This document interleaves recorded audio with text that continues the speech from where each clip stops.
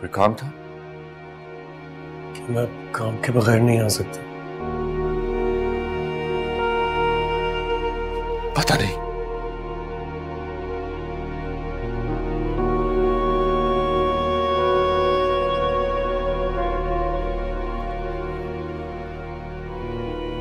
माफ़ कर देना भाई।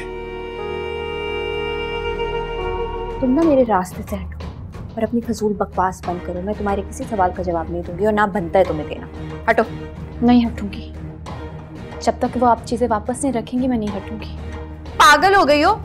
मैंने कुछ नहीं उठाया। मैंने आपको खुद देखा है आपने वहाँ से ज्वेलरी उठाई है।